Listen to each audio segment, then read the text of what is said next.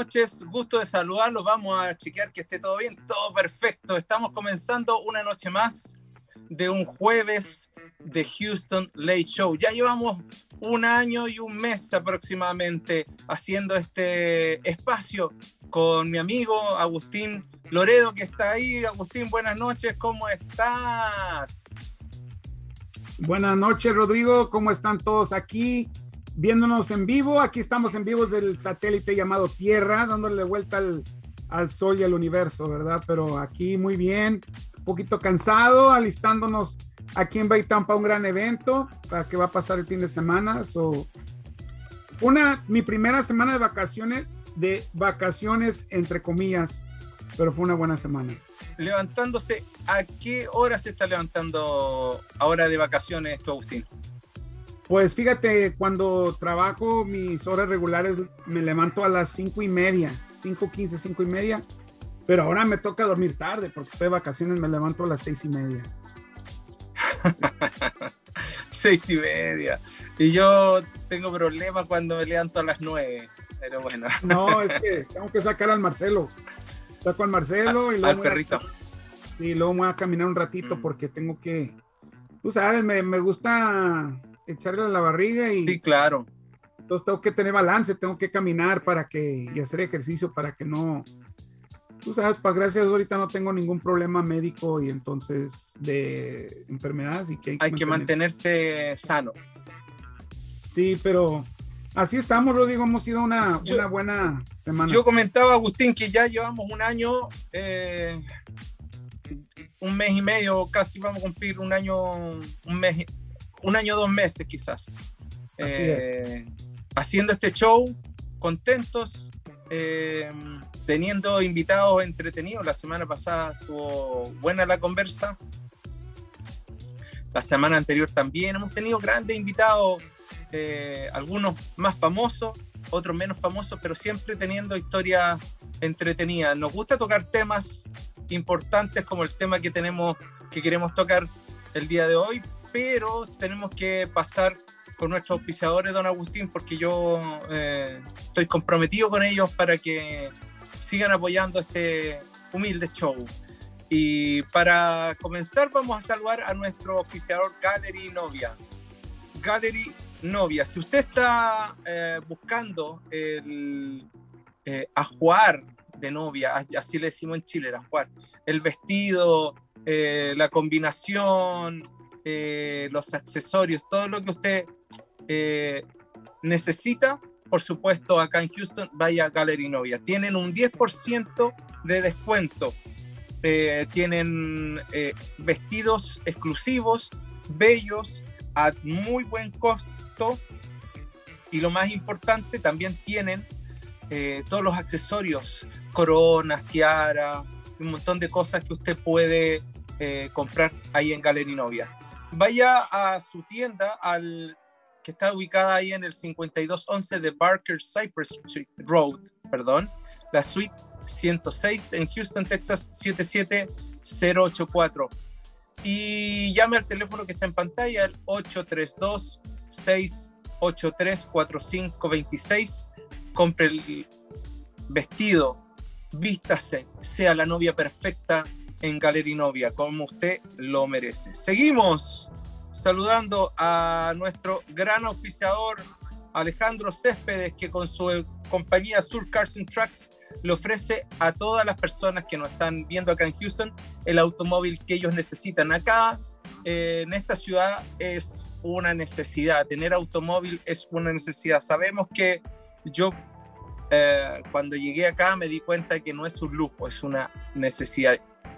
Y es importante tener un automóvil bueno que sirva, que no esté eh, con fallas. Por lo tanto, si su automóvil está fallando y ya necesita renovarlo, vaya a Sur Cars Truck, que tienen eh, camionetas, eh, diésel, gasolina, el modelo que usted necesite, se lo encuentran porque así funcionan. usted quiere algo parecido, tienen muchos ya en, en stock, pero si usted quiere algo especial, por favor acérquese a Alejandro Césped al teléfono que está en pantalla o vaya a su tienda, que ellos están ubicados ahí en el 8817 de la Airline Drive Suite F29 muy cerquita de la pulga de la tía Pancha. Y va a poder obtener con muy buen precio porque financian, ellos financian el automóvil eh, para usted. Así que, por supuesto, vaya a Sur Cars and si quiere encontrar el automóvil que usted necesita. Seguimos, las flores más lindas de Houston las encuentra en Black Orchid Baytown. Arreglos florales para cualquier ocasión. Eh, Valentine's, Día del Amor, Día de la Mamá, Día del Papá, Día del Amante, Día del Patas Negras, como decimos en Chile. Eh, graduaciones, funerales o simplemente eh, para decirle a ese alguien especial cuánto lo ama. Están ubicados en el 516 de West Francis Street, en la ciudad de Baytown. Llame al teléfono en pantalla o vaya a su página web blackorchidbaytown.com. Ahí en la página web están arreglos florales, el valor, lo pueden cargar y lo pasa a retirar, por supuesto. Eh, y tenemos a nuestro siguiente auspiciador, el dentista, un gran amigo de la casa, Sebastián Núñez. Eh, su clínica 21 Century Dentistry. Ah, me salió bien. 21 Century Dentistry. Sebastián Núñez, tremendo amigo de la casa, tremendo profesional, le atiende con todo su equipo en inglés y en español. Tiene mucha tecnología para poner al servicio de su salud. Eh, sabe mucho, sabe mucho, mucho, mucho. Vaya a su clínica, llame a los teléfonos eh, que están en pantalla, el teléfono que está en pantalla, el 281-424-3355, y haga su cita para atenderse con este gran equipo y ponga su sonrisa y su salud bucal en manos de don Sebastián Núñez. Y se nos acabaron los, los auspiciadores don Agustín, podríamos tener más. ya vamos a buscar más. Rodrigo, pero antes de que empezamos a darle vuelta al, programa, quería mandar un, un, saludo. Ahorita estamos hablando de la salud. Este sábado tenemos nuestra caminada ahí en el centro de la promesa de 5 kilómetros. Va una, una caminata muy bien para la familia. Si participan, ahí está el código del QR code si ustedes participan, va a haber playeras gratis muy bonitas. Aquí tengo la del staff, si gustan. a ver, oiga, pero muestre la playera que tiene puesta, pues. Muestre un poquito, ahí presúmala. No, ¿Ah? no, quiero, no quiero causar riots, um, Rodrigo, porque esa es ah, muy limitada, pero bueno, para que la gente se quede aquí nomás. Muéstrala, muéstrala. Mire, Houston Late Show. Sí. Ahí. Esa es edición limitada, porque no quiero que haga problemas en las calles, que no está la mía, ¿verdad? Pero, pero muy oh, pronto yo. Pero Agustín, ¿sabe qué? Nadie la vio. yo tenía puesta otra cosa. Así que muestre la bolera que tiene en pantalla. Ahora sí, ahora sí la vamos a mostrar. Eh, yo estaba pendiente mirar por otro lado. Houston Lay Show, linda su playera. eso, ahí como, como Chaco, ¿ah? La melodía con clase. Así está, ahí, ahí. Mira, este es el diseño de las playeras del sábado, pero la de las playeras de los participantes va a ser el, va a ser blanca, pero es la, es un grupo de indígena de México que las mujeres corren con guaraches, los hombres también. Y entonces va a ser ahí. Y también quiero mandar un saludo a un grupo que participó este, este miércoles pasado, fue el día global de, de la corrida, del deporte de correr. Pasadena Running ah, Club Sí, Passing Run Club tuvo su foto. Yo no pude ir porque tuve una junta y, no tuve oportunidad, pero nuestro amigo Roberto Villarreal juntó y, dice que por primera vez en la historia del club fueron puros hombres, las mujeres no pudieron ir a participar ese día. Wow. Pero si ustedes van al, Facebook pueden ver la fotografía de todos los, los chavos ¿verdad? que estaban ahí tomando fotos, puros jovenazos. Pero vatos rucos. ¿Cómo se llama? ¿Ah? Jóvenes, chavos rucos, chavos rucos. Chavos rucos. Es, es importante que ustedes si pueden venir el sábado lo hagan como familia. Vengan, va a haber comida, creo que ordenaron Chick-fil-A, ah, va a haber juegos para, la para los niños, música, va a haber face painting, un community fair, una feria de, de, la comunidad. Va a ser completamente gratis para toda la gente que vive en el área de Houston, Baytown, Pasadena, Deer Park, LaPorte. Vengan a participar. Es tan importante nuestra salud y es tan importante que a nuestros hijos desde niños los empecemos a enseñar a hacer. No es carrera, es para los que quieran correr, pueden correr. Para los que quieran caminarlo, son simplemente 5 kilómetros, 3 millas. Yo sé que se oye como mucho, pero en familia va a estar muy, muy bonito. Y es una área muy ¿Hay premios y cosas así o hay premios y regalos a los que participan? Sí, hay premios y regalos para los que participan. ¿No es competencia? Sí. No, no, no, no, no es, no es una, carrera. Es simplemente un 5K. Lo, lo, bonito, Rodrigo, es que va a ser un área bien bonita de Baytown, donde vas, bueno, una parte empieza en la calle, pero luego te metes a como una parte de naturaleza que ni pasa el puente por arriba, el, freeway, pero no te das cuenta, la carretera, la autopista, no te das cuenta porque está en un área donde de un lado tienes, tienes mucha fauna y al otro lado tienes, ah, tienes el, el, río de Goose Creek. Bien bonito. O sea, es como que es paseo. Es un paseo también de un lugar bonito. estaciones de agua, va a haber, va a haber una seguridad, eh, estamos participando con la policía de Baytown, va a ser los que nos van a ayudar con la seguridad. Debo decir, perdón, perdón por interrumpirlo, dele adelante. No, eh, eh, completamente gratis. Por favor, tomen ventaja de este programa. Vamos a hacerlo con, en, vamos a hacer una, un, contribuir el, Centro de la Promesa, Fred Aguilar y también Bakota, the Bay Area Council on Alcohol and Drug Abuse. Patrocinadores también tenemos como a Aramark, que nos está ayudando ahí un poquito con, con la comida y con ciertas cosas. Ahí está puesto dónde va a comenzar, ¿no? ¿Dónde se sí, ahí pueden ir 2609 Market Street en Baytown, Texas vengan, pueden, pueden, pueden escanear allí el QR code que está en sus pantallas o pueden llegar el día de la, el sábado en la mañana, empieza a las siete y media la, la, caminata y se acaba, la caminata en sí se acaba a las 9, pero van a tener oportunidad de hacerlo y luego la Feria de la Comunidad empieza a las 9. Si no pueden hacer la caminata, vengan a la Feria de la Comunidad. Perfecto. Buena información, Agustín. Ya es un evento que ustedes están planificando desde hace tiempo, ustedes como Centro Promesa.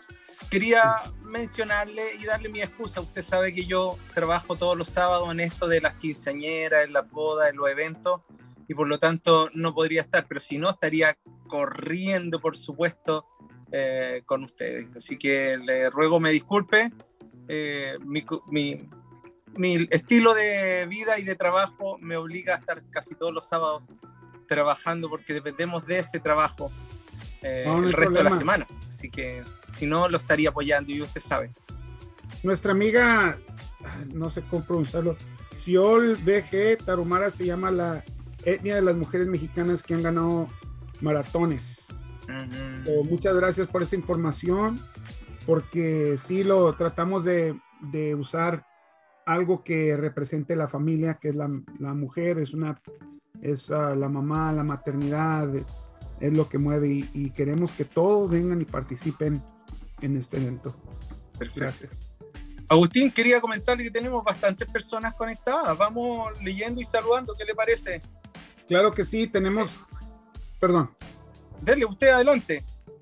Tenemos a mi hermana Rosaura, que está también con mi hermana Rosalinda nuestra amiga Deyanira, un saludo a Deyanira, ¿cómo estás, Deya?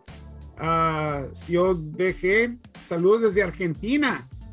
Ay, mira, tenemos un, una persona de Argentina nos está oh. viendo. Saludos. ¿Cómo llegamos a, la Argentina? Saludamos a la República Hermana de la Argentina. Yo, todos me dicen que yo hablo como argentino, pero yo no hablo como argentino. Ah, ahí sí hablé como argentino. Eh, sí, allá, acá confunden nuestro acento de los chilenos con, con el acento argentino. Eh, y bueno, entre argentino y chileno nos no, reconocemos inmediatamente que somos diferentes. Sigamos saludando a don Agustín, tenemos bastantes personas conectadas. Sí, a Leonila Lore Álvarez, Leonila Álvarez nos está viendo. Saluda a mi madrecita, Marcelo Muñoz. Ah, pues saludos Rodrigo, abrazo, excelente programa tocayo aquí de nuestro amigo que está con nosotros hoy. a María Álvarez nos está viendo. Saluda a mi tía Rodrigo Fernández Maldonado. Un abrazo grande. Guadalupe González de Monterrey. Un saludo y un abrazo a Guadalupe González, a mi tía Lupita. Qué bien. A Jerry Schaefer, un, fan de nosotros. Dice, órale, Rodrigo y Agustín. Ah, y Sion BG dice, vivo en Argentina, pero soy mexicana. ¿Cómo ves, Rodrigo? Ah, O sea, bien, pues. el, acento, el acento falló, Rodrigo. Y bueno, el acento mexicano no lo sé hacer, no lo sé hacer. Pero, pero bueno, Argent viva es mexicana, vive en Argentina y lo bueno es que nos están viendo de hartas partes, están desde Chile, eh, gente desde México, ¿no? Eh, desde Argentina. Perdón. Ahorita se pone Grace también. Mira, ahí está ya Grace. Grace, ya sabes Grace desde dónde viene. Sí, ella viene de, no sé, estaba en Edmonton y después se cambia a Alberta, ahí va, ahí, pero Canadá, en Canadá. Y- Tenemos Y dice lindo- nuestra amiga de Yanira que saludos, está viendo con su mamá. Saludos a, a su madrecita. Y te voy a decir aquí nuestra amiga Ciol BG, que está en Argentina, mexicana, pero es mexicana. Ya sabemos todo lo que dice Chabela Vargas de los mexicanos. ¿Qué es lo que dice Chabela Vargas de los mexicanos? Es que va a tener que poner un beat. Le dijeron una vez a Chabela Oh. Vargas, dice ella que tuvo muchos, dices, manda saludos a Tlaloc Paint, por favor, claro que sí, un saludo también a, a Tlaloc Paint. Um, dice Chabela Vargas, una vez le dijeron, hijo, yo tengo mucho orgullo de ser mexicana, y dice, le dijeron, pero Chabela, usted gan- nació en Costa Rica, dijo, sí, pero nosotros los mexicanos nacemos donde, nos dan- donde nos da nuestra... Gana. Ah, Gana. Mira tú. La verdad es que sí, po. Luis Miguel nació, en, entiendo, en, en otro país, pero él es mexicano. O sea, es, es un tema de crecer con esos valores, básicamente, Claro. y amor, amor por esa tierra y esa cultura. Y la verdad es que yo debo decir que acá las personas que vivimos en este país estamos eh, inmersas en la cultura mexicana. Se mezcla la cultura americana, estadounidense, perdón, con la cultura mexicana y nosotros vivimos mucho de la cultura mexicana, aprendemos su idioma, aprendemos su gusto, su comida y la verdad es que estamos a gusto. Eh, tenemos mucha afinidad Chile con México, por lo tanto, eh, bueno, eso era antes de un partido de fútbol de hace algunos años, que nos querían mucho, pero después del partido ya nos quedó un poco. No fue nuestra culpa. Rodrigo, ¿a, a, a, qué hora juega Chile en el Mundial? Eh, no, no, no juega, no nos toca jugar este mundial. Casi nunca nos toca jugar en el mundial porque como tenemos eliminatorias con unos equipos re malos como Brasil, No. Argentina, Uruguay, todos campeones del mundo, ¿no? Perdóname, pero bueno, nos cuesta. ¿Cuántos campeones del mundo hay en, hay en CONCACAF jugando? Ninguno. Y acá nos toca con ellos, por eso no vamos nunca. Pero bueno. Eh, ya nos reímos, vamos al tema escabroso, don Agustín. Básicamente un tema triste, un tema un poco dramático. Yo le pedí a la gente que se contactara y le quiero pedir a las personas que están con- conectadas que nos dejen eh, su opinión, que nos dejen su comentario. Ah, vamos a hablar de, eh, lamentablemente, eh, pasó la semana pasada, pero como teníamos ya un, un invitado confirmado, no pudimos cambiarlo nada ni tocar el tema. Hoy día queremos tocar nuevamente un poco el tema de los ataques masivos con armas de fuego en diferentes partes, en diferentes lugares, donde la gente es absolutamente inocente y, y sufren porque una persona que no debería tener un arma en sus manos la tiene y la usa, básicamente para lo que es, porque un arma está diseñada para herir, para matar. Eh, son de las cosas que deberíamos tener más, más cuidado. Y en este país sabemos que no se tiene ese cuidado, que un importante eh, grupo político están tratando de cuidar eh, ese negocio para ellos porque les resulta ah, muy beneficioso a los que manejan el negocio y a ellos como políticos porque reciben dinero eh, del lobby de eso. Así Claro. que mm, queríamos conversar una vez más de una matanza, de un hecho triste, eh, quizás también a entrar un poco en la violencia de la sociedad estadounidense. ¿Por qué pasa esto acá y no pasa en otros países? Eh, yo sé que en mi país no pasa. En Chile esto no pasa. Eh, ha pasado, sí, ha pasado. Una persona entró a una iglesia y mató cinco personas, pero eso fue hace 30 años y no pasa habitualmente. Eh, queremos que la gente opine qué es lo que podemos hacer, qué es lo que tenemos que hacer, cómo podemos enfrentarlo. Eh, y para eso también tenemos a nuestro invitado esta noche, a un psicólogo que está trabajando con gente eh, que también ha delinquido, trabaja en la Gendarmería de Chile, y lo tenemos invitado, eh, lo recibimos desde Chile, desde Puerto Montt, desde el sur del mundo, casi cerquita de la Antártica. Eh, este contacto, agradecemos el contacto a Marcelo Vázquez. Marcelo, buenas noches, gracias por estar con nosotros y bienvenido a Houston Late Show una vez más. Hola Rodrigo, hola Agustín. Saludos a todos los que están conectados también en este Houston Lake Show. Eh, mi nombre es Marcelo Vázquez, psicólogo, tal como lo mencionaba Rodrigo. Estoy en la ciudad de Puerto Montt, acá en el lindo país de Chile. Y bueno, Rodrigo me convocaba, ¿cierto? Me invitaba a esta conversación eh, de un tema que es bastante doloroso Vaya mi condolencia a todas las personas que perdieron un familiar, a los que están heridos, ¿cierto? Y a los que se han visto afectados también con todo este flagelo que ha ocurrido hace tan pocos días, que ha impactado no solamente a Texas, no solamente a Estados Unidos, sino también a todo el mundo. Esta noticia llegó a Chile, tú te enteraste de esto. Bueno, yo estaba en Chile y nos enterábamos, pero ¿cómo llegó esta noticia a Chile? Sí, mira, eh, hoy día, ¿cierto? Con la globalización y con las redes sociales y, los noticiarios, es un tema que estuvo presente, estuvo eh, bastante, una, cobertura bastante amplia respecto a, lo que había acontecido, porque también además, ¿cierto? Se eh, coincide con la convención que había o que, o que se dio en Texas respecto a la tenencia de armas. Esta convención de, si no me equivoco, se llama el grupo de rifle o agrupación, agrupación. Correcto. Agrupación de rifle, donde, es cierto, eh, los grandes inversionistas eh, promueven eh, la, compra de, de, armas y tengo entendido amparado, y corrígeme si me equivoco, en la segunda enmienda de la Constitución de Estados Unidos.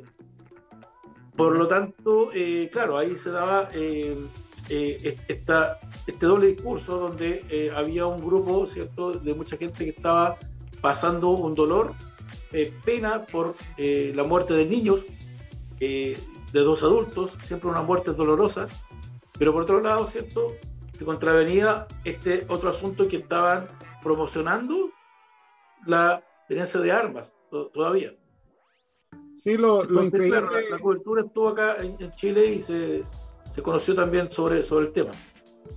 Sí, es increíble, Marcelo, gracias por estar con nosotros, pero es increíble que irónicamente pasó esa gran tragedia donde pues hay muchos factores que aún hoy están saliendo información. Creo que una de las maestras, su esposo era uno de los policías del distrito escolar, está hablando con él, salió eso hace rato. Pero la ironía es que esto pasó en Uvalde, Texas, que está aproximadamente una hora o dos horas de San Antonio, y en, y en Houston que está a cuatro horas de San Antonio, estuvo la Convención Nacional de la Asociación Nacional de los Rifles, donde no nomás habló el expresidente Trump, pero también habló Ted, este Ted Cruz, que senador republicano por Texas y desgraciadamente latino, y yo, pues yo no reclamo, pero y también el gobernador Abbott iba a hablar en esa convención. El alcalde de Houston, Sylvester Turner, um, lo, preguntaron por qué iban a tener la convención, pero como eso pasó, creo que la semana cuando iba a ser la convención, dijo que era demasiado tarde con los contratos para quitar. Su intención sí fue tratar de cancelar la convención, pero era demasiado tarde para que él pudiera cancelar ese contrato que tenía con la Asociación Nacional de Rifles. ¿Qué mensaje le estamos mandando a, a olvídate de nuestra sociedad como adultos? porque la sociedad como adultos, adultos es una cosa bien pésima al defender tanto el derecho de portar armas. Yo siempre he dicho que en este país muchas veces es el problema es que mi, conveniencia no tiene nada que ver con lo que es inconveniente para ti. Pero el, el problema es qué mensaje le estamos mandando a nuestros niños que están viendo ese sufrimiento que están viviendo. Creo que en esas próximas semanas hubo tres o cuatro escuelas en la área de Houston, no, perdón, en Texas. En Houston hubo tres escuelas donde hubo armas esa semana, que gracias a Dios no pasó ninguna tragedia, pero hubo alumnos con armas en lo que, lo que trascendió esas últimas dos semanas de clases. ¿Qué mensaje le estamos mandando a nuestros jóvenes? Es que justamente, o sea, con, con todo esto, Agustín, Rodrigo, ¿cierto? Y lo, lo están conectados también, se tiende a naturalizar una conducta que no debería ser natural. Em, por lo tanto, también, ¿cierto? Y hoy día, en, en, en, cómo se está dando la sociedad, que tal como tú dices, eh, yo me preocupo más bien de mí y no del otro, entonces hay una eh, deshumanización de, de, las personas. Eh, más bien me centro en, en, mi vida, me centro en mi persona, en mi entorno, en mi familia, y lo demás me da lo mismo. Eh, por lo tanto, el, el, sentido de comunidad, eh, lo que tú bien comentabas, ¿cierto? Y, y, llevándolo a lo que decías desde esta convocatoria que estás realizando de una actividad de, de salud, pero que eh, viene desde una tribu, ¿cierto? De mujeres que eh, co compite, eh, se pierde la, la, la, la, noción de tribu, la noción de, de grupo, la noción de protección. De, no solamente eh, proteger la familia, sino que proteger el barrio, de proteger a, niños, a niñas. Eh, hoy día eso, eh, tal como tú dices, lo más probable que aparezca sintomatología en los niños, en los adultos, de un estrés postraumático, ¿cierto? Posterior a esta situación que hoy día se ha vivido en, en, en Estados Unidos, y han vivido ustedes. Y que, y que, hoy día, ¿cierto? También aparece no solamente en Estados Unidos, sino que he tenido noción de que hay un colegio, una, una eh, fundación de un colegio acá en Chile, y ya está haciendo simulacros respecto a, a, a, a este tipo de, de, emergencias. O sea, ya no es el simulacro frente a una catástrofe natural, sino que hoy día son los simulacros, ¿cierto?, para prevenir el ataque de alguien con armas en un colegio. ¿Por qué? Porque eh, se tiende o, o, se puede tender, ¿cierto?, a eh, naturalizar esta conducta, por tanto también a repetir estas conductas. Eh, y, y, y, quién la repite? La repite alguien que está, ¿cierto?, dentro de su sano juicio, si lo podemos decir de alguna forma bien coloquial, alguien que tiene una noción clara, sino que alguien que más bien presenta distorsiones cognitivas, distorsiones en el pensamiento, que podría ver eh, esta acción como algo, eh, algo natural, algo, algo que se puede realizar algo que, eh, que, además llama la atención y que hay ciertas características, cierto, cierto eh, rasgo, ciertos indicadores, factores que pueden dar cuenta de personas que eh, son enajenadas mental, ¿cierto? Que va a tomar decisiones eh, tan aborre, que, que, aberrantes, ¿no? de aborrecer. Uh -huh. ¿Ah? Marcelo. Entonces, sí. Perdón, una pregunta. Me, me, gustó mucho lo que acabas de decir, bueno, no me gusta porque es algo, pero es una realidad, en la noción de perder el concepto de tribu, eso es una, una cosa bien importante porque aquí inclusive hay un, hay un dicho muy famoso que dice, se, en inglés es, it takes a village to raise a child, se se necesita todo un pueblo para crear una, a, un, a un niño. Um, este qué tipo de, cuando empe empezamos este tipo de, de, proceso social, ¿qué es lo que está pasando? ¿Qué es lo que has notado tú como en, en tu trabajo? ¿Qué, qué, ¿Cómo afecta eso a los jóvenes que, que quizás en 5 o 10 años sean adultos? Esa noción de, de perder el, el, concepto de ser parte de algo más grande, ¿qué son las consecuencias de ese tipo de comportamiento de la sociedad? A ver, si, si lo tomamos desde el punto de vista del desarrollo de, del niño, hoy día, y, y, y creo que, que, que, fue un tema que mira, está muy ligado a que conversamos en uno de los primeros programas, eran las redes sociales. Y, y, cómo las personas hoy día se comunican, cómo hoy día se relacionan. Hoy día, cómo, cómo creas lazos, cómo creas afecto, cómo eh, desarrollas tus emociones. Y hoy día eh, es una realidad que se está creando o se está configurando de manera virtual. No, eh, es muy poco, ¿cierto? O, ha disminuido, disminuido mucho la relación directa del, del, cara a cara, del, comunicarse, del salir, de pasear, de hacer actividades juntos, de tener una, una, un encuentro real, no un encuentro virtual. Eh, por lo tanto, eh, claro, y, si hoy día miramos, ¿cierto? lo que dicen los noticiarios, los antecedentes que se han aportado, ¿cierto? De, de Salvador Ramos, que fue la persona que perpetró ¿cierto? este ataque al colegio, eh, las características que, indican ¿cierto? que era una persona solitaria, una persona que no tenía mucho contacto, que además ¿cierto? Eh, eh, refieren que era víctima de bullying en el, colegio.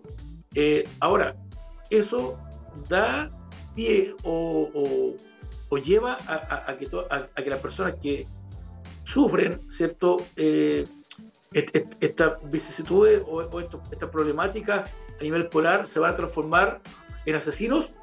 Eh, podríamos decir de inmediato que no. ¿Por qué? Porque van a haber otras características que van a llevar ¿cierto? a una persona a cometer delitos.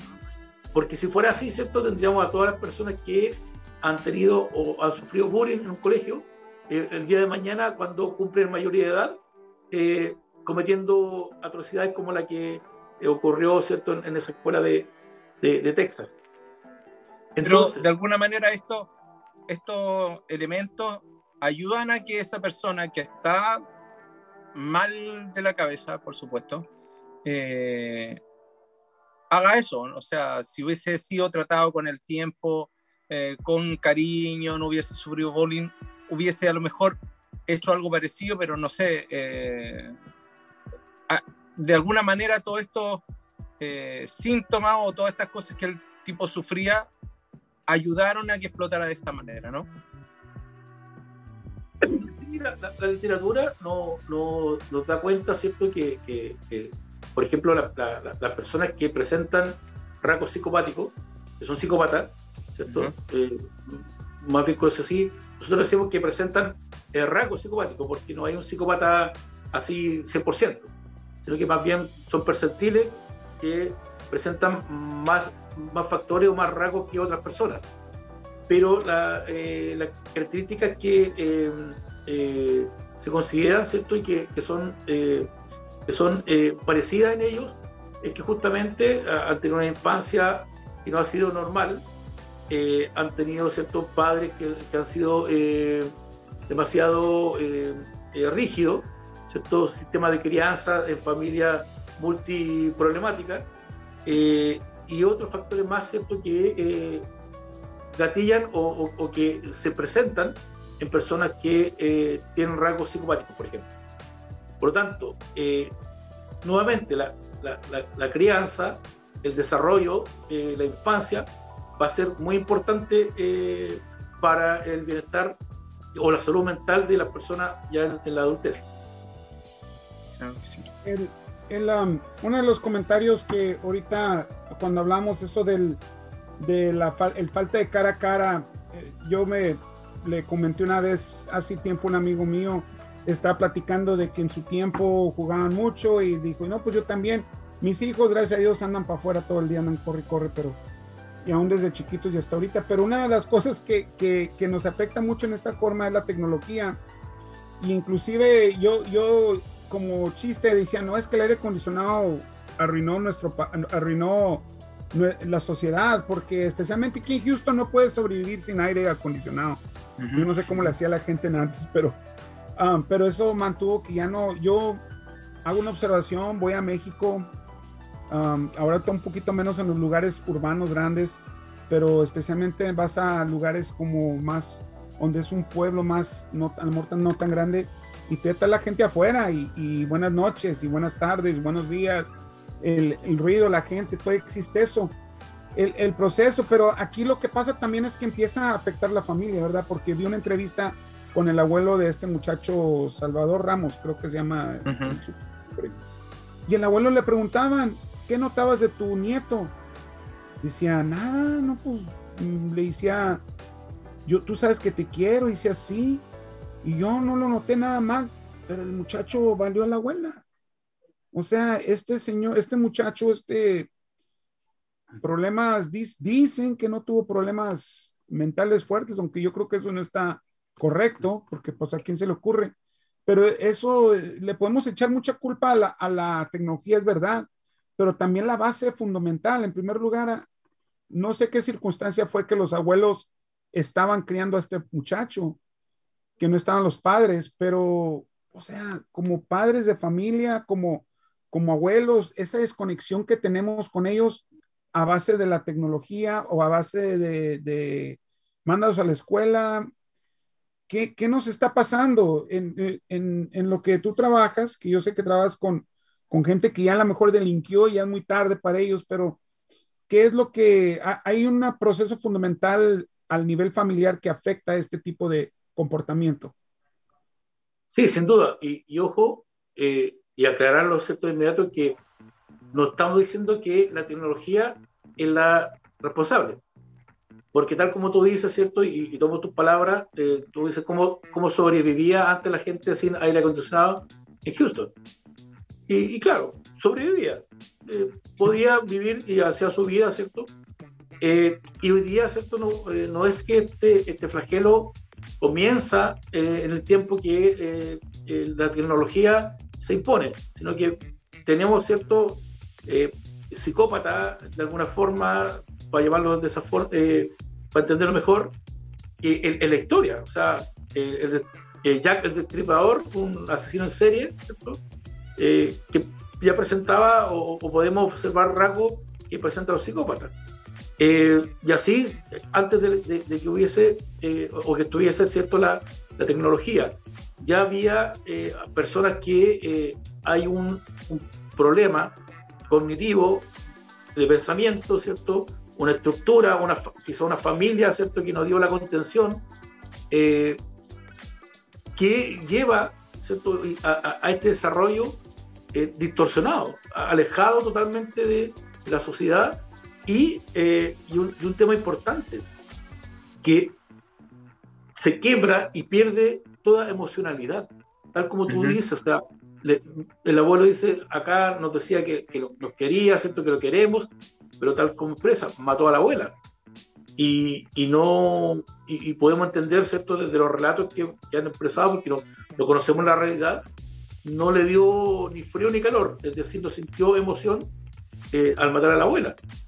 Y, y, eso lo podemos ¿cierto? Eh, inferir, dado que minutos posterior a eso, dice, me voy a una escuela a matar niños. Entonces, eh, claro, y, y, se enfrenta y mata, mata niños, donde uno, pucha, los niños, uno ve la, ternura, ve la, inocencia, ve eh, que son prácticamente frágiles, eh, por lo tanto, eh, ¿qué, ¿qué, va a sentir, ¿cierto? O a quién podría sentir alguien de matar niños.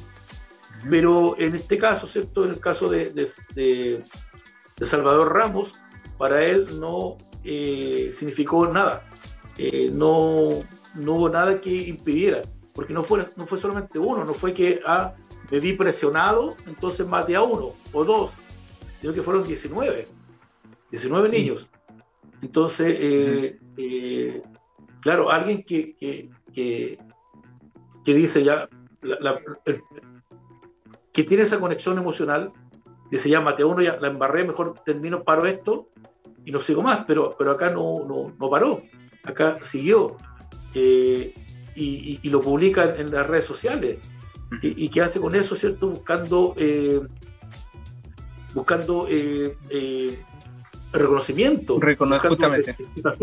Mm. buscando que, que, que, que, lo vieran, ¿cierto?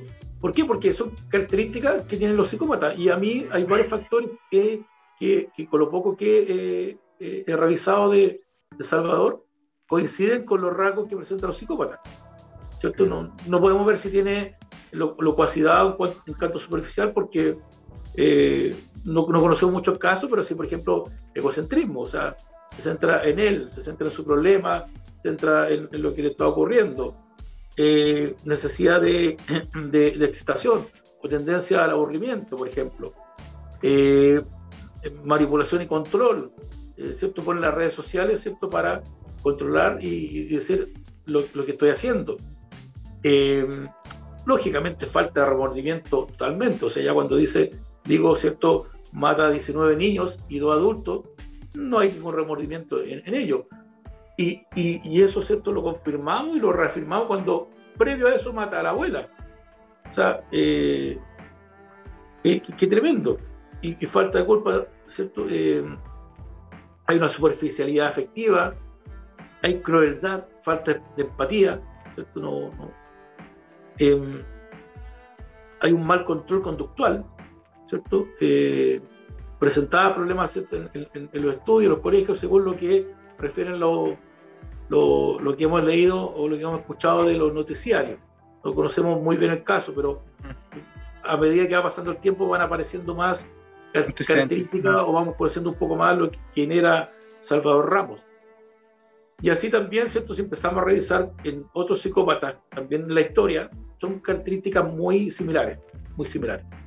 Son personas que pierden el concepto de la realidad y viven en otra realidad y ya lo que van a hacer forma parte de lo que ellos eh, creen eh, como debe ser y no, no, no piensan que las personas no son otras personas, no sienten, todo gira en torno a ellos y bueno, la verdad es que eh, se nota hasta Aníbal Lecter tenía cierto, nos ayuda a entender, de verdad, nos ayuda a entender en la película cómo piensan estas personas.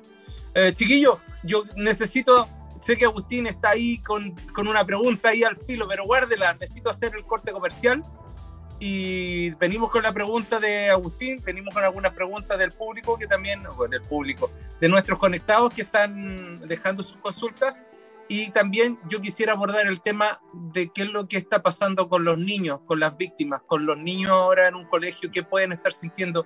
Marcelo, te voy a pedir que nos explique un poquito por ese lado. Pero antes necesito que vamos a nuestro pequeño corte comercial y volvemos en unos minutitos. Esto es Houston Late Show.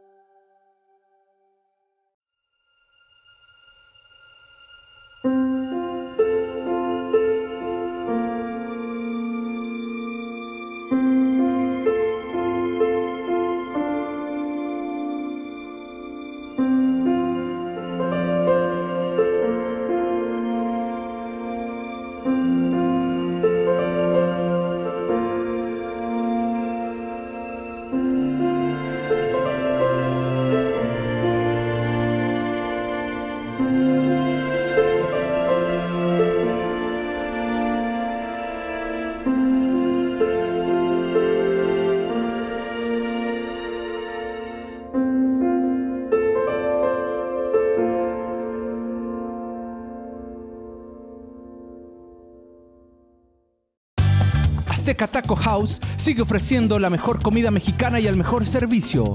Tenemos los más sabrosos tacos de la ciudad, variados platillos tradicionales mexicanos, aguas frescas, café de olla para su desayuno y mucho más. Estamos ubicados en Calle Hopper, a unas cuadras de la Interestatal 69.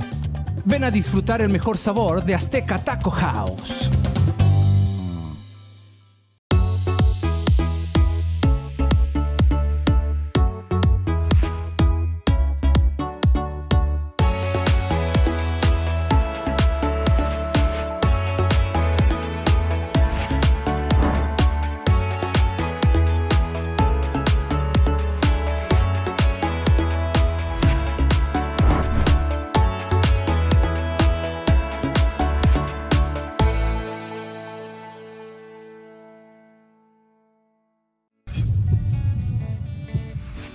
Hola, soy Rodrigo Gandarillas de Gandarex Films. Si usted tiene un pequeño negocio u ofrece algún servicio y tiene el sueño de hacer un video publicitario, tener un spot comercial de calidad televisiva pero a un bajo precio, por favor llámeme. Si necesita generar contenido para las redes sociales o incluso tener su propio programa de televisión, por favor llámeme. En Gandarex tenemos diferentes paquetes que se ajustan a lo que usted busca y a lo que a usted le conviene.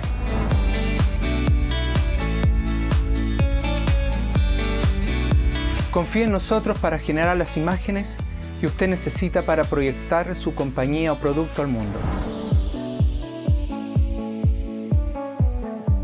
Soy Rodrigo Gandarillas de Gandarex Films y espero su llamado.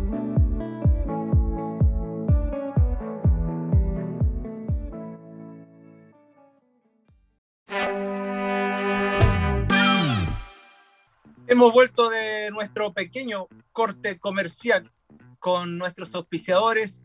Está muy entretenida la conversación. Tenemos hartas personas que nos están dejando sus consultas. Por favor, déjenos sus consultas, déjenos sus preguntas, eh, su opinión, su opinión. Queremos saber su opinión respecto del tema que estamos conversando. Eh, yo les decía a ustedes que hemos tenido varios programas relacionados con el tema del derecho a portar armas, del, del lobby, de que eso debe cambiar, de que debe haber regulaciones, sí. Pero queríamos tocar el tema uh, de, desde el otro punto de vista. Eh, sabemos que la situación es así en Estados Unidos y no tenemos, no va a cambiar uh, hasta que las personas se decían a votar por las personas que hacen los cambios. Así que volvemos con Agustina a decirle a la gente, vea quién está a favor de regular las armas en este país y vote por esas personas si es que usted quiere que se regule. Eh, no estamos diciendo, eh, bueno, yo soy bastante contrario a las armas. Yo creo que las armas deberían estar en manos solamente de la Fuerza Armada y la policía. Pero si aquí, en este país, eh, se respeta que las personas pueden adquirir armas, eso no implica que no se deba decidir quién puede acceder a ese derecho y quién no. Está claro de que tenemos el derecho, por ejemplo, a comprar un, árbol, un auto perdón, y manejarlo. Eh, tenemos derecho a comprar alcohol y beberlo. Pero en ambas circunstancias tenemos que cumplir requisitos tenemos que acceder a un curso de manejo, eh, cumplir con las leyes para manejar y requisitos, regulación. En el tema del alcohol debemos tener cierta edad y debemos hacerlo no en cualquier parte, no podemos manejar si hemos bebido, no podemos eh, beber en la vía pública, tiene que estar regulado. Hay regulación, hay libertades, pero hay regulación y muchas de las personas de grupos políticos importantes no quieren ninguna regulación porque no les conviene al bolsillo. Y yo aquí vengo a, decir, vengo a decirlo nuevamente, las personas que están apoyando la libertad y que esto pase, lamentablemente están manchando sus manos con sangre porque siguen muriendo niños. En Parlan hace unos años eh, se produjo un gran movimiento que al final no llegó a nada porque la, no está la voluntad política. Eh, ese es mi punto de vista, quería decirlo, no sé si Agustín usted quiere expresar su punto de vista eh, o darnos también el tema de qué es lo que usted sabe que se está haciendo en las escuelas para ayudar a proteger más a los niños. Yo escuchaba un niño que decía que ya desde kinder, uno de los que sufrió ahí fallecieron sus compañeros, él decía que desde kinder ya estaban haciendo ensayos y pruebas para evitar o enfrentar un momento como este. ¿Qué es lo que sabe usted que se está haciendo en la escuela? Bueno, Rodrigo, para empezar, yo creo mucho en la democracia. Yo tampoco soy muy, yo no apoyo las armas igual, pero porque existe esa libertad o libertinaje creo que debe haber unas regularizaciones más estrictas para portar armas. Aquí en Texas, por ejemplo, tienes que tener 21 años para comprar cigarrillos, tienes que tener 21 años para comprar alcohol, pero con 18 años puedes ir a comprar el arma que tú quieras. Y esos son los pleitos que tienen ahorita. Puedes ir al Walmart a comprar armas, o sea, en el Academy comprar rifles, AR, lo, lo que sea. Y es, y es parte del problema. Si la, la, ley dice puedes portar armas hasta que se vote eso, y eso falta que la gente vote por, por, por un cambio, si quiere el cambio, pero lo que sí pueden es regular quién puede comprar armas. Ahora, en, y eso yo estoy a favor, porque hay gente que tiene verdaderamente problemas psicológicos que no los no deberían de tener armas. Pero bueno, a, lo de las escuelas, es verdad, desde que los niños entran a la escuela hay cada año unos ejercicios que son requeridos por, la, por el Estado que tienen que hacer ellos y uno es, el más común es el lockdown. Y el lockdown básicamente es que apaga la luz, la puerta debe estar como quiera siempre con candado, apaga la luz y a los niños los, los, todos se esconden en una esquina. Eso pasa en la mayoría de las escuelas en Texas, los mayores distritos escolares que tienen lockdown rules. Y si no, el niño anda en el baño, agárralo y mételo. Y no importa si están en pre-kinder o en high school. Eso es lo que hacen. Lo que muchos distritos ahora están haciendo es algo que se llama Alice. Y Alice es donde tiene, en mi distrito practicamos Alice en Pasadena, donde, por ejemplo, si el, el, una persona con arma entra, anda en los, en los pasillos, en, como tienen acceso a los, a los micrófonos en todos, en, todos los teléfonos, en cualquier teléfono la dirección puede errar y ahora tiene hasta una aplicación. Puede decir, hay una persona con una pistola en el pasillo B. Entonces tú tienes que hacer una decisión como maestro y como grupo. ¿sí? Te, enseñan cómo asegurar la puerta porque nos enseñan unos trucos para asegurar la puerta para que no entren. Y toda, toda persona en ese salón agarra algo con que aventarle al, al si puede entrar el que trae la arma, si entra le avientas computadora, libro, lo que sea, porque han, han hecho pruebas que eso es lo que a lo mejor le da a uno o le da a dos, pero no le va a dar a diez. La otra es que, por ejemplo, mi salón está mero atrás. Si el, si el shooter, si el que está con la pistola está enfrente, la instrucción es corran. Salgan de la escuela, corran al, al, al, al, al a la colonia, al vecindario, al, al, neighborhood. Y después, como todo el mundo ya tenemos la tecnología que nos cae, va a haber un, un, teléfono, un texto que les va a dar la instrucción qué hacer después. Eso es lo que se debe de hacer. aquí tenemos un par de comentarios, si me permites. Sí, dale, dale, dale. Uh, creo que estoy diciéndolo bien, Siol BG, podría ser que la educación individualista competitiva, la sociedad que segrega y le falta amor y contención familiar favorezca este tipo de personalidades y por eso es un fenómeno que se presenta con regularidad. Creo que es para Marcelo. La otra es de Yanira, nos dice, ¿cómo le podemos explicar a esto, esto a niños que pregunten sobre el tema de lo que pasó en Robert Elementary y en otras escuelas? He conversado sobre esto con muchos adultos, pero es más delicado con niños al regreso de las escuelas me imagino que tendremos muchos más lockdowns, Alice y cosas por el estilo, pero ¿cómo podemos explicarle mejor? Son dos preguntas muy relacionadas, Marcelo, que tienen que ver con, con los niños y, y, cómo vamos a lo mismo, lo, del el, la, la, caída del, del núcleo familiar, porque por X y también por la educación cómo básicamente cómo le hablamos, cómo preparamos a nuestros niños, más que, que lockdowns y ales y, y preparaciones, cómo es que le explicamos a los niños sobre estas situaciones. Sí, muy, muy, muy interesante eh, lo, lo, que plantea Agustín, porque eh, frente a este contexto, ¿cierto? frente a, esta situación que es una situación real, que eh, es probable que no sea la última, y ojalá fuese la última, pero, pero la estadística ¿cierto? y la, la, evidencia nos dice que probablemente va a volver a ocurrir una situación parecida. Eh, ojalá que no, no ocurra, ojalá que no sea así, pero la evidencia ¿cierto? dice otra cosa. si lo, no, eh, no, nos enfocamos en la evidencia, eh, tenemos que prepararnos, tenemos que prepararnos y lo que están haciendo ¿cierto? en las escuelas es muy bueno. Eh, y, y, ojalá fuera mucho más. siempre nos quedamos cortos. ¿Por qué? Porque las armas que llegan, ¿cierto? La cantidad de gente que compra armas es mucho mayor que la cantidad, ¿cierto? Si lo, si lo ponemos en la balanza, que la preparación que estamos haciendo, que se está haciendo en las escuelas para prevenir eh, una situación como la que eh, se vivió o se, se, han, vivido. Que no solamente es la última, sino que también hay otras, otras experiencias, otros eh, acontecimientos que han ocurrido y ya, ya conocemos. por lo tanto, lo, lo, lo, principal, como siempre, es la promoción, la prevención. ¿Cierto? ya cuando, cuando vamos a, a, corregir, cuando vamos a intervenir, ya es tarde, porque, porque vamos a, a sanar, vamos a recuperar, vamos a, a, intervenir sobre algo que ya, ya fue.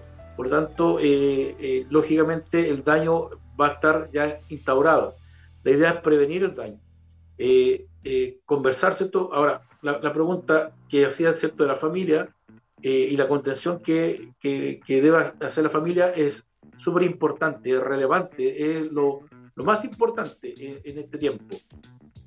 Con, con, la familia, ¿cierto?, de los niños que están en el colegio, con grupos también de apoyo a, a, los familiares de, de, los niños, no solamente a los que fallecieron, sino también a, la, a los padres de la familia de los que sobrevivieron, que son sobrevivientes. Ahí tenemos niños sobrevivientes, adultos, profesores, maestros, que son sobrevivientes frente a esta tragedia. Por lo tanto, también requieren intervención, también requieren eh, una contención. Eh, y eh, frente a eso, ¿cierto? ¿Cómo, cómo conversamos o, o cómo eh, le explicamos a los niños respecto a este fenómeno, eh, siempre cometemos muchas veces eh, quizás el error o la falencia de querer hablarle a los niños como adultos y que, entiendan como nosotros entendemos como adultos. Y debe ser al revés. tenemos que preguntarle a ellos qué, están, qué entienden respecto a lo que está ocurriendo que ellos expresen lo que está, lo, cómo, cómo interpretan esta realidad que está sucediendo. Y en, ese, en esa interpretación que realiza el niño o la niña, el adolescente, eh, eh, guiarlos y darles, eh, ¿cierto? Eh, ayudarlos a, a, comprender esta realidad que ellos ya están viviendo. Porque es una realidad que ya ellos lo, lo han expresado y ellos lo vivieron. Ellos estuvieron ahí. Por lo tanto, nosotros como adultos muchas veces nos cuesta expresarlo, siendo que ya tenemos y hemos adquirido habilidades. ¿Cuánto más a ellos? Entonces, no, no pretendamos que ellos tengan las mismas habilidades que tenemos nosotros como adultos, porque nos ha costado años, nos ha costado experiencia adquirir estas habilidades. Por lo tanto, preguntemos primero a ellos cómo, cómo significan esta realidad, cómo, qué significado le dan, eh, cómo lo ven, qué, qué es para ellos, cómo lo explican. Y en esa dinámica nosotros apoyamos o facilitamos el entendimiento de, esa, de eso que han, que han vivido. La contención familiar es súper importante. ¿Por qué? Porque ahora tú me preguntabas, ¿qué, qué viene ahora para, para, para, esta familia? Lo más mm. probable es que venga, ¿cierto? Para los niños. El estrés postraumático. Y los, el estrés postraumático no se presenta de inmediato. No se presenta a la semana, no se presenta al mes.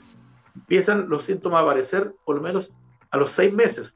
A los seis meses más vamos a tener ¿cierto? a estas personas que probablemente empiecen a consultar en salud mental porque han tenido sintomatología, como por ejemplo eh, los flashbacks, ¿cierto? La, repiten la escena, eh, los sueños, pensamiento intrusivo, eh, irritabilidad eh, y un deterioro biopsicosocial importante.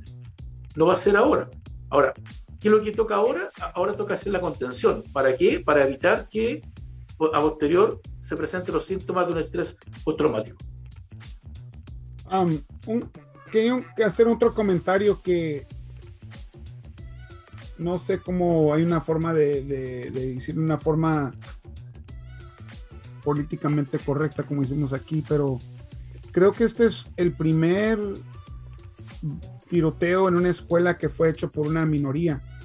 Que aquí es otro problema que tenemos mucho en este país, el problema del racismo. Pero creo que ha sido la mayoría, si no todos los tiroteos en las escuelas han sido por, por en este tipo de estilo, han sido por gente anglosajona. El que pasó en Sandy Hook, inclusive en otras, el, el, tiroteo que hubo en la iglesia afroamericana, el, fue un blanco, creo que este señor hasta a McDonald's, al que hizo el tiroteo. El, la mayoría de los tiroteos han sido por, por gente por gente blanca, o sea, no, no hay otra forma de decirla. yo no sé en qué consiste esa, porque pues podría decir pues que son, yo no sé en qué, en qué consiste eso, qué es lo que, lo que impulsa eso que ha sido este va y este y este muchacho aquí nació, este muchacho Salvador Ramos, pero no sé en qué consiste esa coincidencia o esa, no sé, no sé cómo ni cómo hacer es la pregunta, la verdad. Sí, entiendo Agustín que, eh, claro, eh, ¿cómo ¿cierto? esta persona que, eh, está fuera de, los parámetros o, del común de los tiradores que hubo que han existido en Estados Unidos? O de las personas que han cometido estos delitos eh, eh, tradicionalmente en Estados Unidos han sido de, de, raza blanca, para decirlo así, o anglosajón. Y hoy día teníamos a, eh, Salvador Ramos, ¿cierto? descendencia hispana o, latinoamericana, quizás, y presenta ¿cierto? las mismas características. Un común denominador en estas personas es la distorsión cognitiva, la distorsión del pensamiento esa escisión, ¿cierto?, entre eh, la emoción y el pensamiento. ¿Qué nos mueve a nosotros, las personas? Nos mueven las emociones y nos mueven el pensamiento, que es lo racional, ¿cierto? Y, por eso somos seres racionales y nos eh, apartamos del, reino animal porque nosotros podemos, ¿cierto?, razonar. Eh, ahora, ¿y, qué nos lleva a razonar? Nos, nos movemos también mucho por las emociones. ¿Qué pasa en estas personas? La emoción está, eh, está disminuida. Está disminuida. Ahí, eh, ¿cierto? Eh, hay teorías ¿cierto? Que, que, que apunta a, al estudio de, de, los psicópatas, por ejemplo, y los psicópatas, como, como, como, como dato, no se intervienen las emociones. la intervención no, no, no, involucra trabajo en las emociones. Por ejemplo, ¿y usted cómo se sintió? No, no hay preguntas como esas. No hay trabajo en, por ejemplo, hacer control de impulso, eh, en hacer, por ejemplo, balance decisional, eh, eh, estilos de vida saludables. No, porque tú con eso potencias mucho más al psicópata dentro de sus factores. Pero sí dentro de lo, racional, o sea, en lo que dice relación con, con el trabajo de reinserción en los psicópatas, es súper acotado y súper dirigido. O sea, usted vaya, consiga un trabajo. Y la próxima semana, dígame a cuántos trabajos fue. Así, súper, súper desde la lógica, desde lo, racional. No emoción. No eh, encuéntrese con su familia, eh, tuvo contacto con su hijo, eh, eh, cómo está su círculo de amistades. No, nada de eso, porque dentro de eso, emociones no, no, no, podemos trabajar ahí. No, porque no, no, no es que no, no, no las podamos trabajar, sino que no hay una conexión con las emociones en este tipo de personas. Uh, Agustín, había una pregunta importante, me gustó de Yanira. ¿La, la puede leer? Sí, dice, qué, qué buen punto preguntar, preguntar, preguntarle qué saben y qué entienden, luego facilitar esta información. El trauma de los sobrevivientes será por el resto de sus vidas. Qué difícil. Um, Grace Darlington también dice, estos actos viola. Eso fue la, pregunta de Yanira, si se la preguntamos, Rodrigo. Lo que sí sé es de que muchas de las personas que nos están viendo, como mucha gente al, nivel mundial, pues están aterrorizados por estos actos. Cuando, un ejemplo poco tonto, pero me acuerdo de esa escena en en Star Wars donde este Kylo Ren mata a los Padwas, no este, no este Anakin mata a los, a los Padwas en, creo que en la tercera película y el terror que todo el mundo sintió. Es una realidad. Estamos viendo una realidad donde en este mundo se ha hecho común, por lo menos en este país, de que nos podemos, si en verdad fuéramos tan sorprendidos por la, el acto de que una balacera en una escuela donde murieron niños, si en verdad eso fuera algo tan escalofriante que nos afectara en una forma tan importante haríamos cambios. Desde que pasó la primera vez. Aquí pasó en Houston hace tres años a, a unos cuantos minutos de, de, las, del centro de Houston. En Texas ha pasado, no nomás en Texas. Pero, pero desafortunadamente podemos decir lo correcto y decir que feo. Pero no es tan feo que, hagamos cambios. Estuvimos hablando la semana pasada que uno de los de los contrincantes o el contrincante principal contra el gobernador Abbott fue de que este Beto O'Rourke se confrontó al, a un grupo de políticos, el gobernador, el senador Ted Cruz y el alcalde de, de, Uvalde. Y el alcalde de Uvalde, en vez de, de, apoyar o tal siquiera pedir un cambio, empezó a, a echar a, a Beto O'Rourke, echándole insultos, de palabras fuertes. Qué, qué feo.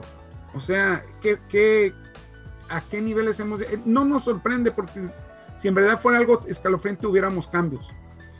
aquí la, la, dueña del programa, un saludo a, a Marilor Tubia, dice, es importante resaltar el rol que tienen los medios de comunicación al informar hasta el punto de sensacionalizar estos tiroteos y los involucrados y eso también a, qué nivel que llegamos que, que, nosotros como, como sociedad, es como ver un accidente, ¿verdad? Pasa un accidente y todo el mundo quiere voltear a ver. No, sí, porque somos morbosos. Somos morbosos por naturaleza.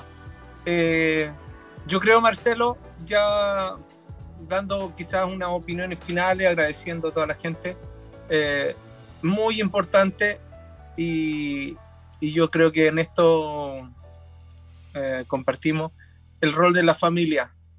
El rol de la familia en, todo esto es demasiado importante y eso se está perdiendo. La comunicación y los valores que los niños recibían directo de sus padres en conversaciones, en cariño, en juegos. Eh, ya los papás no juegan con los hijos llegan cansados, eh, trabajan en nuestros países, trabajan papá y mamá, llegan cansados y la mamá tiene que seguir trabajando en la casa. Eh, entonces, hay, eh, la familia se está viendo debilitada y por eso esto, este tipo de acciones o situaciones con los niños y las personas van en crecimiento.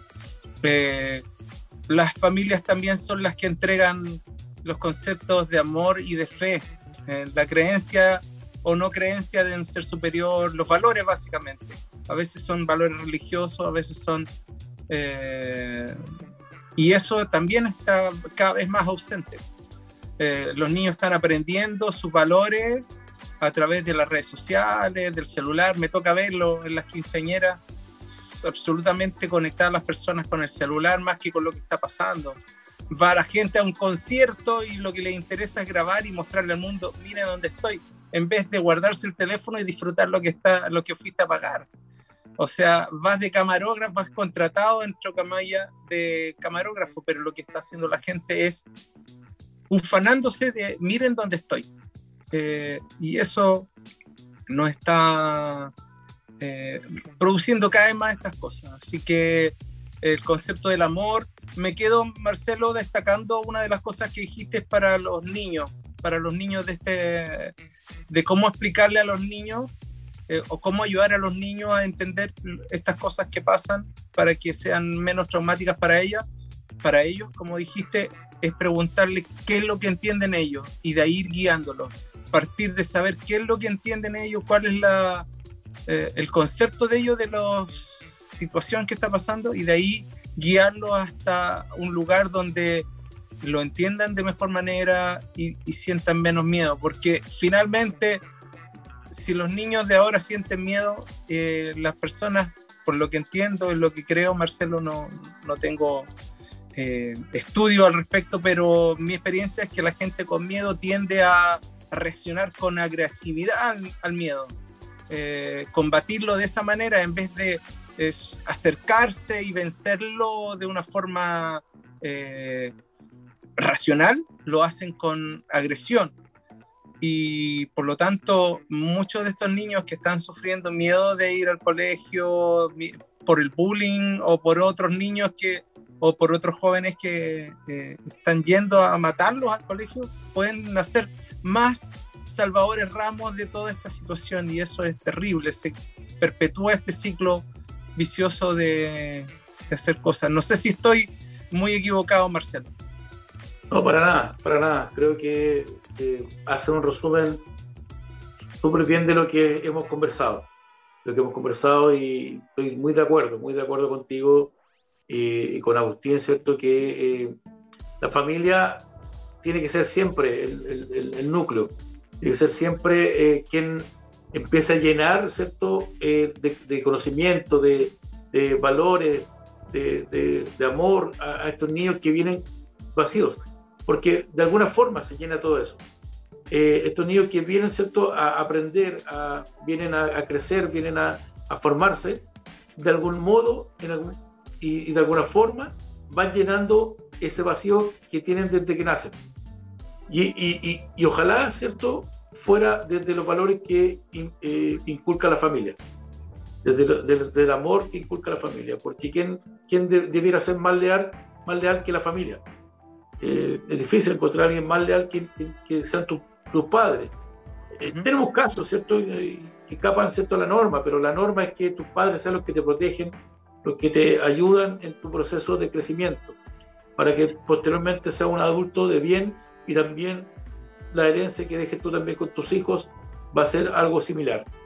Por lo tanto, eh, la invitación nuevamente es a buscar la instancia, buscar el tiempo, buscar el momento, sino no tiene que ser algo tan eh, exorbitante, sino que un, gesto, una palabra, un escuchar, un preguntar qué entiendes tú, eh, qué sabes de esto. Los niños hoy día eh, tienen mucha, mucha información, pero cómo canalizarla, ¿cierto? Es lo que hoy día los adultos tienen que ayudarlo. Hoy día el desarrollo del niño no es diferente al niño de años atrás. Por más que diga que hoy día hay tecnología, claro, hay más información, pero su desarrollo y el cuerpo humano sigue siendo el mismo. Por lo tanto, hay etapas etapa o estadios del desarrollo, ¿cierto? Un bebé no va a poder hablar ni va a entender de forma reflexiva como lo hace un adolescente. Eh, así tampoco un niño de 5 años, ¿cierto? Va a ser un pensamiento más bien concreto y un niño de, 15 años es un pensamiento más abstracto. Por lo tanto, entiende la realidad de diferentes formas. Los niños hoy día, ¿cierto? Que estaban en en kinder, no sé cómo le, no, recuerdo cómo le dicen ustedes al, a la primera etapa escolar, eh, hoy día vivió un tema concreto, pero cuando sea eh, esté la secundaria, esta misma, eh, este, mismo, este mismo hecho lo va a resignificar de otra forma. Entonces, por eso es importante trabajarlo y tratarlo de hoy día, sanarlo hoy día. No después, no del tiempo después, sino que hoy es el tiempo de de, intervenir. No, no, no, mañana, no mañana. Y como dicen, como decían a, alguien por ahí, ¿cierto? A, a, niños, niños chicos, problemas chicos. Niños más grandes, problemas más, más grandes. Así que eh, yo le agradezco, no sé si ya estamos despidiendo, ¿no? Sí. ha sido un programa largo. La invitación, eh, te agradezco nuevamente el contacto con Agustín. Un gusto, como siempre, verlo. No me puedo ir, Rodrigo Agustín, sin saludar a, a Solange, que estaba ahí también con, con el, el, Nick de Sion. Ella, efectivamente, es argentina, es una, una, amiga, muy querida amiga. Ella es doctora en, médica en Argentina, así que también eh, ahí nos no, no aportó bastante en este, en este programa. Así que muchas gracias por la invitación, gracias a todos los que están ahí, mis condolencias nuevamente a, a toda la gente que ha sufrido por este flagelo, ¿cierto? Y, eh, a tener fe y esperanza en que esto puede ser mejor, esto va a ser mejor. Yo voy a hablar yo, Agustín, y lo dejo de despedir el programa. Súper contento, Marcelo. Eh, creo que aportaste tremendamente a, ayudarnos a entender un poco eh, la situación. Eh, yo te pedí que te informara, porque tú vives en Chile, trabajas con personas eh, que están en reinserción social, antiguos delincuentes que pagaron su, eh, deuda con la sociedad y están reinsertándose.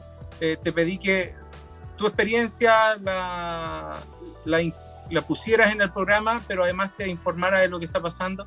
Hiciste claramente una tarea espectacular, te informaste y nos informaste y nos explicaste eh, clarito eh, muchas de las cosas que, que, están pasando, así que estoy súper agradecido de, del esfuerzo que hiciste, de tu sabiduría y te agradezco que haya estado una vez más con nosotros, Marcelo. Tú estuviste en el primer programa y esperamos siempre contar contigo, eh, sobre todo en, en verano de, de, este país, porque en invierno ya se te hace muy tarde. Pero gracias por, por tus palabras y tu expresión el día de hoy.